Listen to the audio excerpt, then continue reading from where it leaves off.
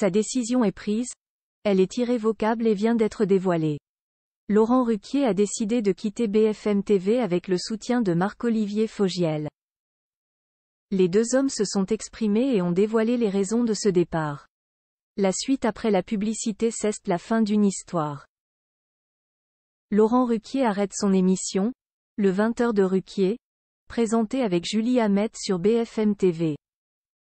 Ceste Sequanlon apprend des mots de Marc-Olivier Fogiel, directeur général de la chaîne de télévision d'information.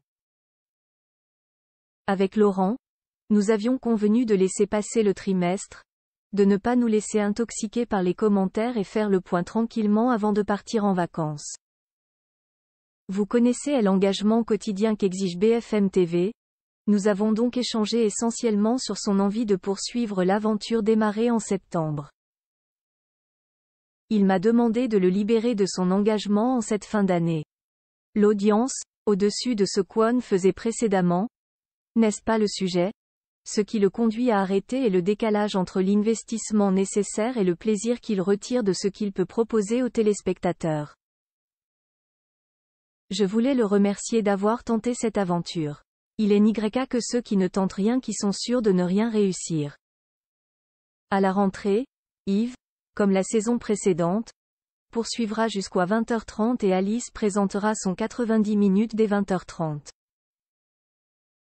On continue donc sereinement, dans notre couloir, loin des commentaires, à proposer le meilleur à nos téléspectateurs avec une grille solide et variée, a fait savoir Marc-Olivier Fogiel via un mail interne.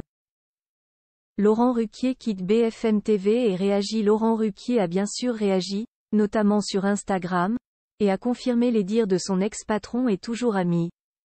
Jai décidé de ne pas continuer l'aventure commencée fin septembre sur BFM TV.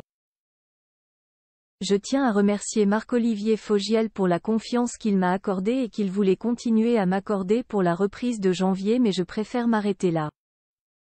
Je pourrais me cacher derrière la conjoncture et différentes actualités dramatiques qui certes ne m'ont pas facilité la tâche depuis mon arrivée mais force est de constater que le public ne m'a pas suivi dans ce rôle différent pour moi. Je ne regrette pas d'avoir quitté France Télévisions en juin dernier pour BFM TV parce que j'ai vécu ces trois mois comme une expérience passionnante et incroyable, comme je n'imaginais pas la vivre mais il faut savoir accepter ses échecs. Jai tant de satisfaction avec la radio et les grosses têtes sur RTL, l'écriture pour le théâtre ou la production d'artistes, que je ne souhaite continuer à faire de la télévision quoi condition que le plaisir soit partagé avec les téléspectateurs.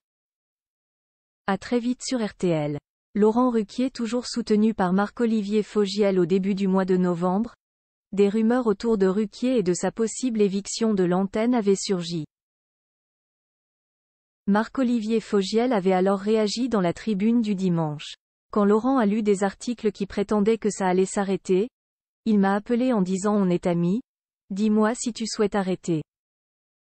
Cet intox est dingue. On verra au mois de juin si on a trouvé la bonne formule, mais il n'est pas question d'arrêter ce programme au bout de deux mois, avait-il expliqué confirmant en effet que Laurent Ruquier avait tout son soutien. La suite après la publicité La suite après la publicité.